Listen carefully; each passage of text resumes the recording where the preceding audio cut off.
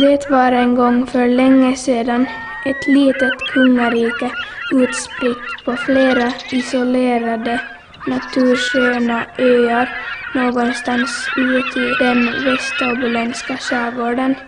Här bodde det hårt arbetande, kloka, lojala och naturälskade skärgårdsfolket med en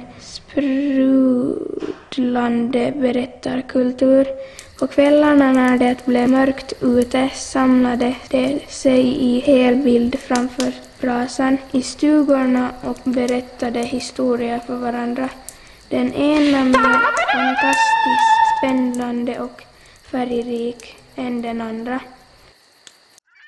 Tre sjömil barbord låg slottet där den välvilliga och godhjärtade kungen bodde.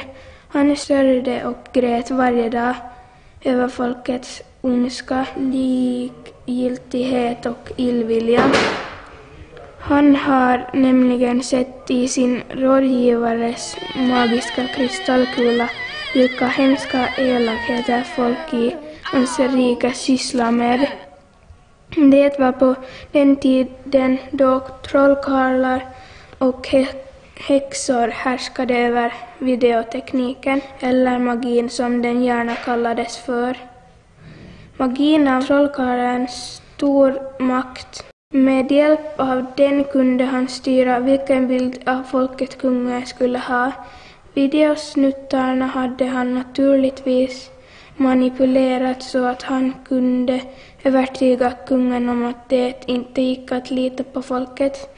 Så kunde trollkarlen undvika att folket kommer på hans hemlighet. En vacker dag under en extrem närbild på sin krona upptäckte kungen att där fanns en smutsfläck på den.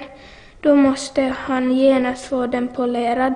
Efter ett litet bildinklipp av en kalender visade det sig att det var midsommarafton och kungens och alla kronpolerare, livvakter, riddare, betjänare, skräddare samt övrig personal var ledig.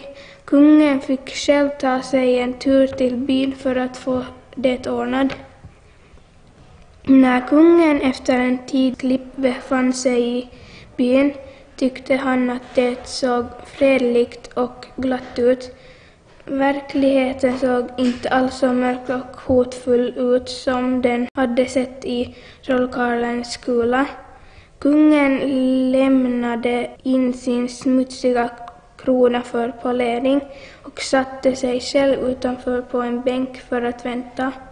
Kort därefter kom en kvinna in i bilden och satte sig bredvid honom. I halvbild med trepunktsbelysning och extrem mikrofon började hon berätta den mest otroliga och spännande historia han någonsin hade hört.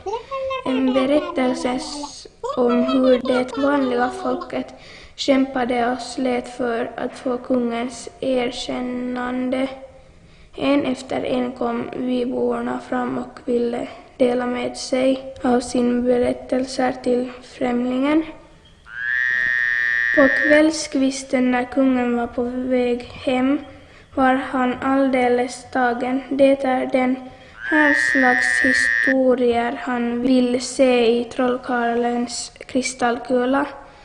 Han bestämde sig för att ordna en gigantisk berättarfest. Han bjöd in alla i hela kungariket och gav trollkarlen i uppgift att projicera det hela i en vadskrin kristallkula med surrandljud. Festen blev en stor succé. Kungen var så nöjd med alla historier och han sänkte en kristallkula till varje stuga i hela kungariket. Den skulle all, det skulle alla sammankopplas med slottets stora kristallkula som att alla kan dela sin, sina historier med varandra. Så uppstod kunga, nej, kristallnätet. Sen levde dess användare lyckligt i alla sina dagar. Även trollkarlen, som trots att han hade blivit degraderad till kristallkulskoordination njuter av att få dela med sig av sin expertis.